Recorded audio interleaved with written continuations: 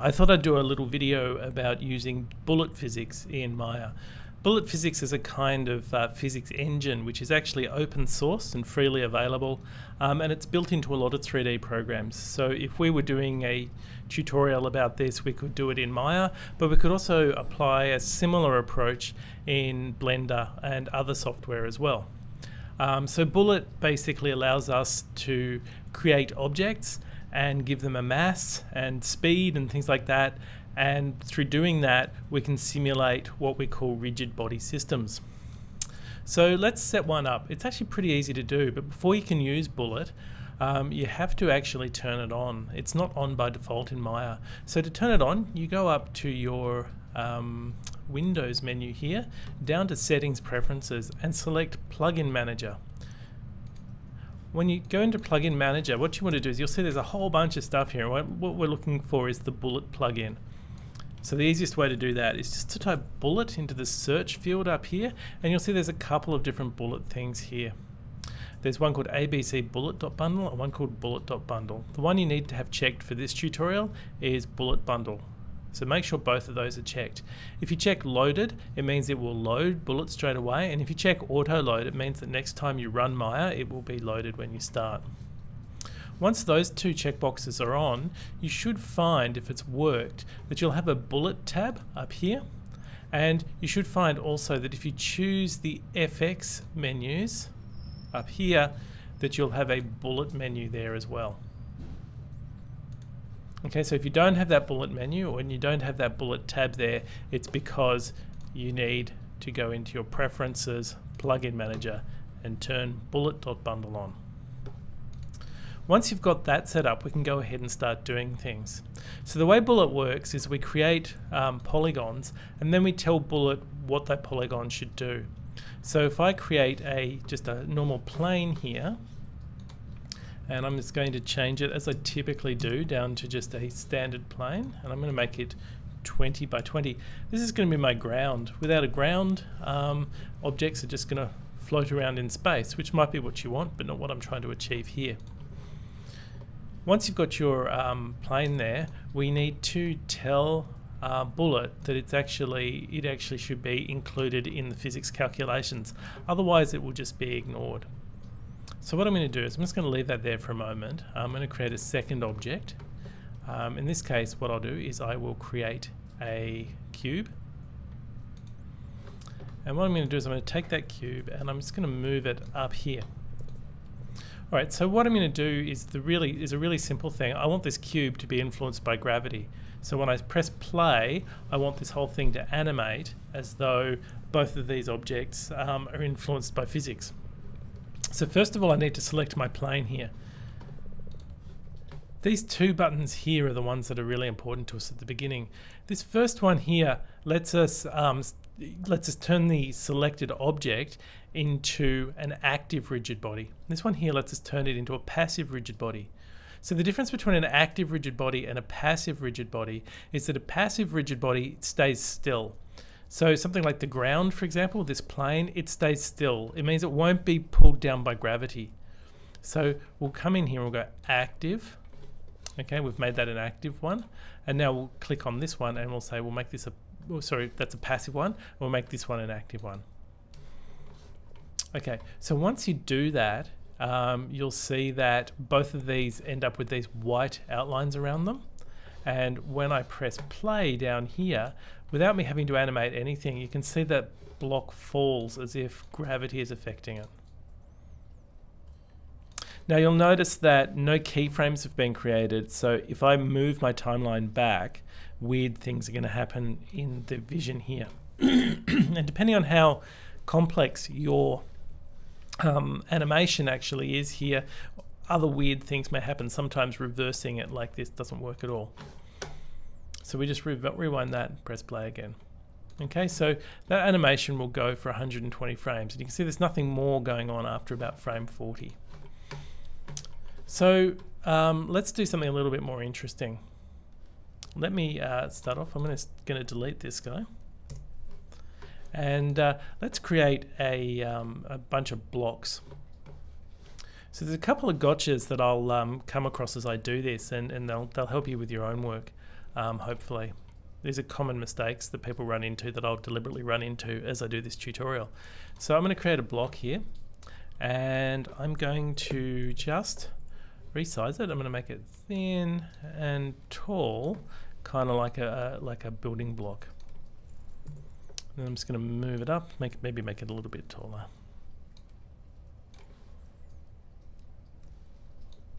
Okay, now what I want to do is I want to pop this just on the surface there because it's a building block, so it might be helpful to go into a side view if you want. Now you'll notice there's a gap here between my block and the ground. And really I can keep moving this closer and closer and closer and eventually it'll move over to the other side of it. Now the problem is that if I make this a physics object and it intersects with the one underneath it, it will bounce off it. So let me show you what I mean.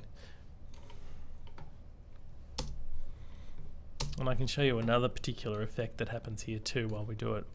Okay, so what I'm going to do is I'm going to select this guy and I'm just like I did before I'm going to turn it into a active object. So I'm going to come into my bullet menu up here I'm going to make it an active object. That means that it's now going to be um, it's now going to experience gravity. Okay so when that falls that's fine now, what, watch what happens if I go back and undo a couple of steps so that it's no longer a physics object. And so now if I press play, you see it's not falling anymore. Um, and now if I start it actually already inside, so I'm moving it so it's sort of through the bottom here. And now if I make it a physics object, an active physics object, you'll notice that it sort of bounces up like that. And that's because when I pushed it through the bottom there, it's intersecting or colliding with the ground. And that means it's like it's like kind of being pushed out of the ground as it's bouncing off it. So we, we want to try and avoid um, objects overlapping each other, otherwise they'll bounce off each other like that, sometimes quite dramatically, which we'll see in a sec. Okay, so let me um, let me go back and undo everything again. And we'll just move our block to where we want it. Now, when you're doing um, these things and you're building something, it's really important to do your building first and then turn them into physics objects. So don't create a physics object. So we shouldn't make this an active object and then duplicate it a number of times. Make the object first, make your, your building first, and then turn, turn your entire building into a physics object. We'll show you how to do that. So here's my first block. This is just a standard cube because I undid the um, physics application that I put on it before. And I'm just going to go control duplicate, control D to duplicate. And I'm just going to create two blocks like that. And then I'm going to duplicate that block and then just rotate it. And I'm just going to rotate it by 90 degrees. And then I'm going to move it up and across a bit here and then down a bit. Now again, at this point, I need to be a little bit careful that I don't push this block inside the other blocks, right? If I make these blocks overlap, then what's going to happen is these blocks are going to push off each other. So I need to make sure there's a bit of a gap there. I don't want it to be too big a gap, but I do want a gap there. And I'm just going to align these. Okay, so now I've got um, a basic kind of building block setup. Let's um, take those blocks and control D to duplicate them and move them up to there. Okay, again, leaving a small gap between them. And now I can go Shift D and just duplicate that again and maybe again. Okay, so now I've got a little building. Let's go back to our perspective view here and you can see we've got a building there. Now, the next thing I need to do is I need to turn these into physics objects. But you see, I've mucked around with these objects a bit and they have a number of different transformations on them. You can see they're translated and they're scaled and one of them at least, this one for example, is rotated as well. Right, so these values are not all set to their defaults. Similarly, these objects all have histories on them. So if we go to the attribute editor here, you can see that pcube7 has a few different things in its history. Not too many of them at this point, but before we turn them into physics objects, it's really important to go back to your poly modeling tools and click this button, which is freeze transformations, which will turn all of these transformation values back to ones and zeros. Um, and also this one, which is delete history. So the way we can do that is we can just select everything. Um, so we could just come in here and like select all those guys like that, and then just go freeze transformations and delete history. Now I'm not going to do that yet. I'm just going to show you what happens if I forget to do that. So this is a, a gotcha. This is something that often goes wrong when people are trying to do this. So we select all these things. Now to turn these into physics objects, we don't go through them one by one. We can actually come in here and click this button here, and that will turn all of the, these, these objects here into one sort of set of rigid body objects. So we'll just click this one and you'll see that straight away they all turn back into cubes.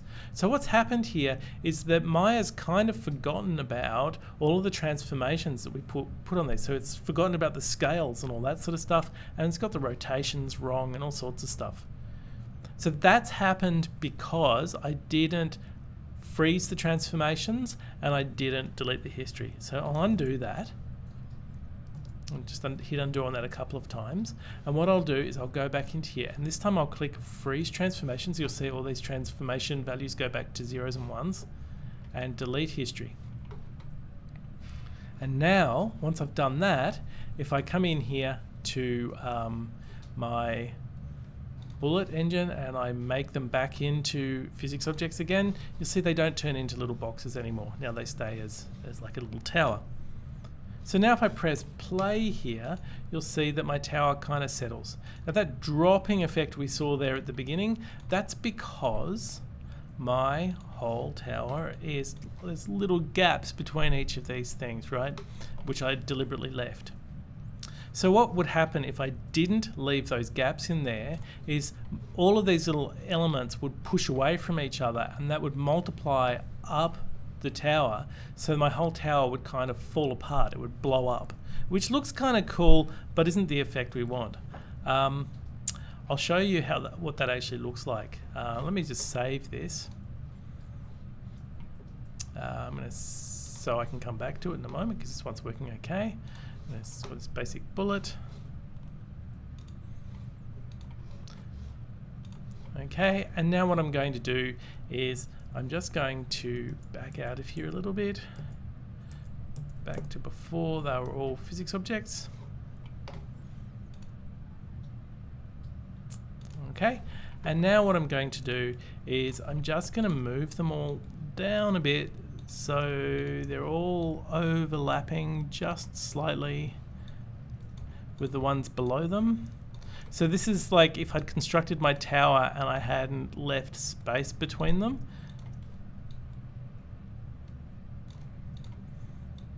Okay, so I've sort of crunched them all, they're all overlapping. So now, if I go through, I'll just quickly, because I've moved them around, I'll go through and I will go back to poly modeling.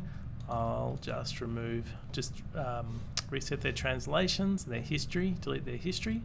And then what I'll do here is I will make them back into physics objects again. So there we go, physics objects. And now when I press play, you'll see that my tower kind of blows up which is kind of cool, um, but not really what I want. Okay, and that's because all of those elements are pushing against each other like we saw before. So, that's why we leave gaps between them. Um, all right, let's go back to the one that was working okay here. All right, so there's my block, and if we run that, Okay, that one's just falling through the floor there. Let's try that again. Okay, sometimes with physics simulations, you'll find weird effects happen, and sometimes they'll happen the first time, but not in future times. It's always a good idea to rewind and then make sure you always play from frame one, because sometimes if you load up a file like I just did, okay, so we'll do that again. We'll open that scene, go back into here, open, Okay, you can see that uh, we're on frame 44 here. That's where I saved it at. And so if I press play now, it's kind of like it hasn't remembered all the stuff that's happened. It hasn't calculated all the stuff that's come before. So when I press play, it won't calculate things out properly. What's important is for us to go back to frame one first and then press play and then we'll get the proper animation happening. Okay, so um, there's my tower. Now let's say I want to knock my tower down. Um, let's say I want a ball to come in and knock my tower down. How do I do that? What we do is, uh, first of all, we're going to need a ball to come in, alright? So we're going to create a ball. And we're going to move this one over here. And let's make this ball just sort of fly across here and knock out these, these bottom pits so the whole thing falls down. Now, I haven't added any physics to this ball yet, so it has no impact. Now, because it has no physics on it, if I just stick it in there like this, and I press play, this tower doesn't care about it. It has no impact on it at all. Alright, so it's not, it's just ignored because we haven't made it a physics object. So what I'll do is I'll move it over here and we'll make it a physics object. So uh, let's come back into our bullet settings here. We'll make it an active object. Okay, so you can see it's got this like cube around it here. That cube is its bounding box and it's used for working out collisions. Now you can see that with, a, with these guys, their bounding boxes will be stretched around them and because they're, they're, they're rectangular prisms, a bounding box works fine.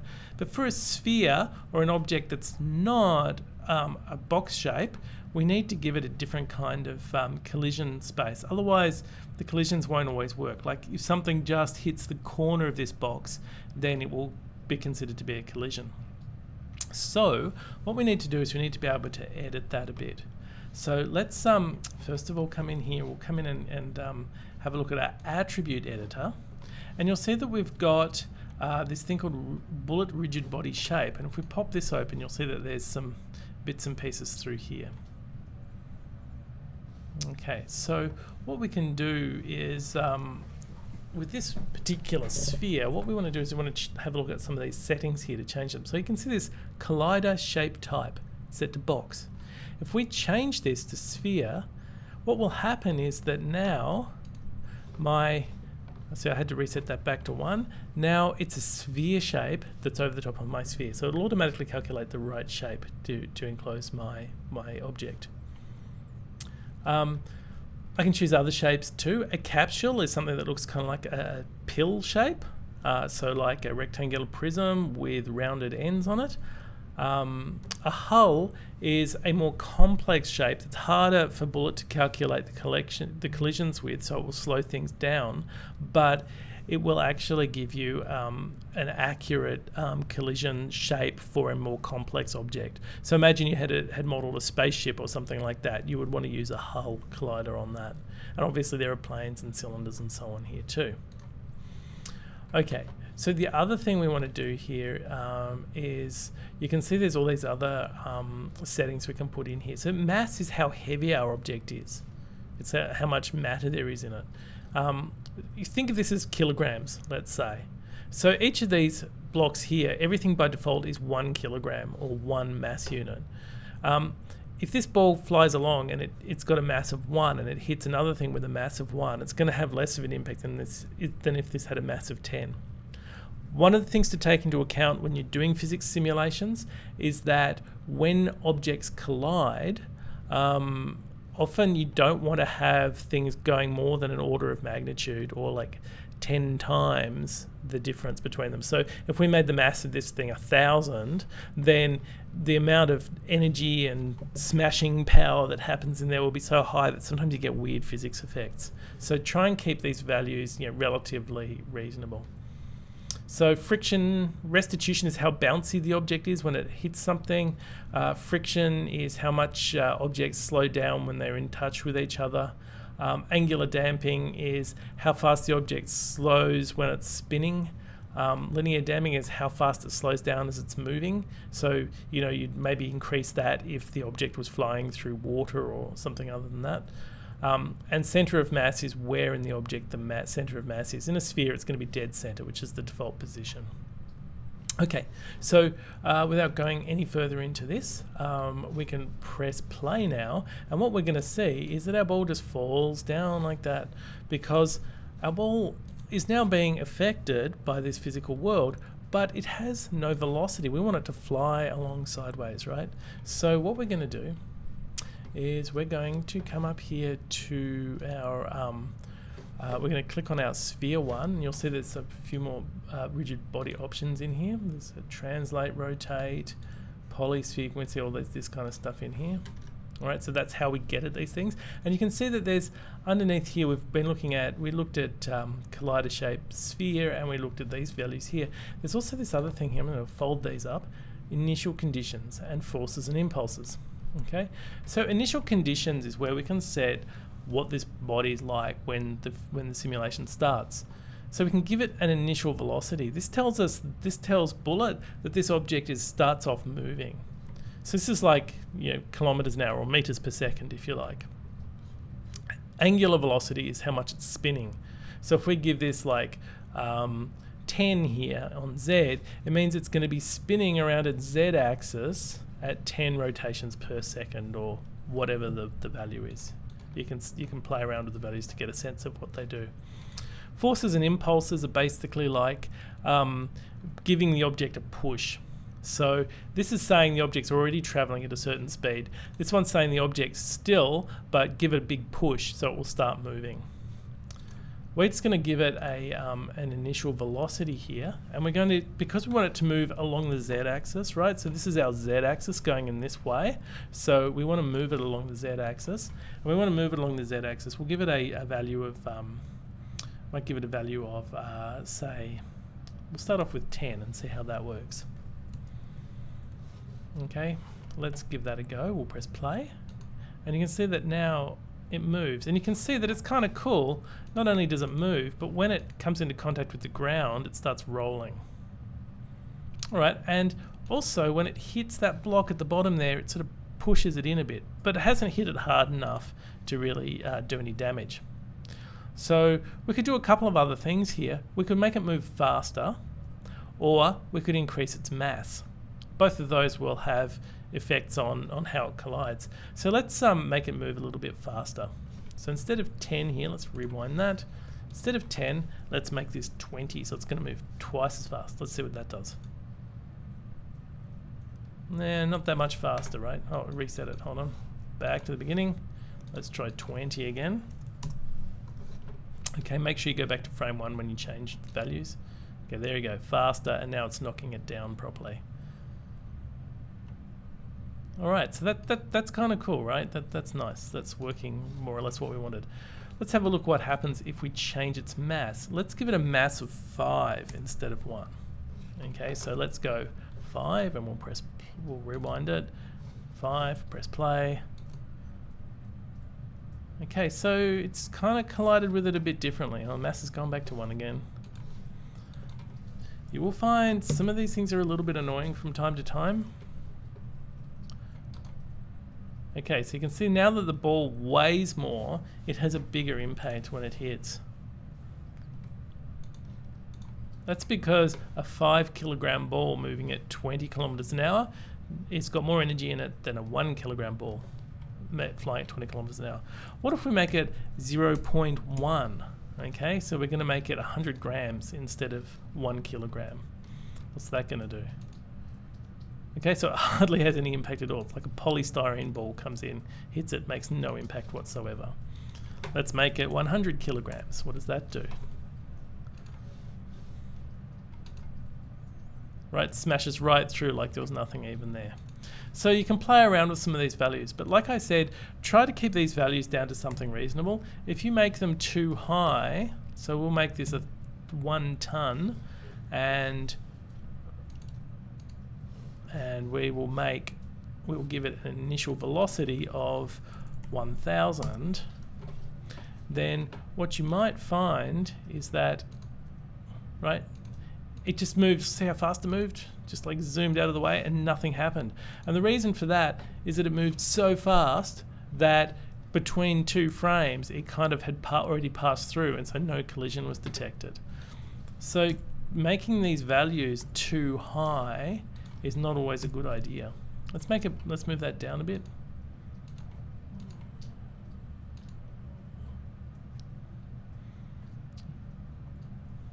And you'll find that there, sometimes you will get like weirdnesses happening, like blocks bouncing around a bit too much more than they should be. when these values are high. So only make these values as high as they need to be for the purposes that you're that you're trying to achieve.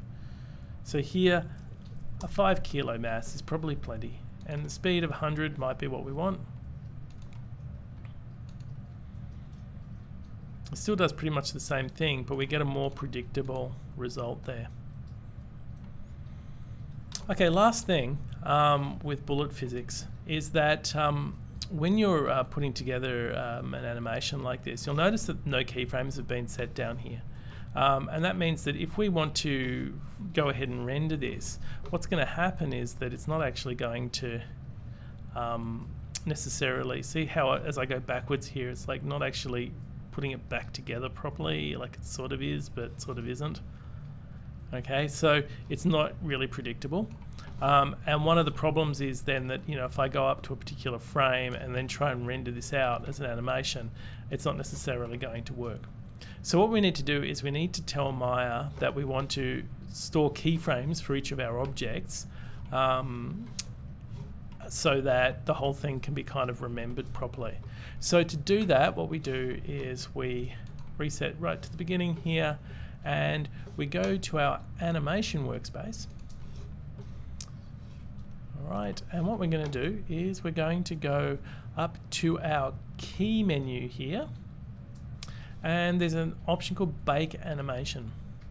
When you go bake animation, what it will do is it will take every frame, it will record a keyframe for all of our objects. It's basically like going hand by frame by frame animating our objects. So we can come in here to our bake options and we can make some um, we can make we can change some of these values around. Generally speaking, you can leave them as defaults. You can change some of these values to um, change the speed of that that it gets recorded. Remember, we're baking at real speed, so sometimes you want to change these around. But pretty much the defaults are fine. Click bake. It'll go through. It'll run the animation really fast, and you'll see that you'll have a whole bunch of new keyframes put in. There's tons of keyframes in here, one for each frame. And now when we do this, we can see it like on any particular frame, we can see what the effect is. Sometimes it's still a bit funky in the way it works. It's like, doesn't exactly work right, but it does mean now that if I go ahead and try to render this, then it's going to render correctly. So that's basically it for um, a basic introduction to bullet physics. There's a lot more to bullet physics than this. We can do stuff with um, soft bodies, which are soft things like blobs that can move around instead of hard objects or rigid bodies. Um, and we can also um, we can also simulate other things uh, like cloth and even rag dolls. So we could get like a little body with some bones in it and we can just drop it around the place. That's a little bit more advanced than I want to get to for, for this uh, particular subject, but um, feel free to play and as always, the more knowledge you can demonstrate that you have worked out for yourself, the better.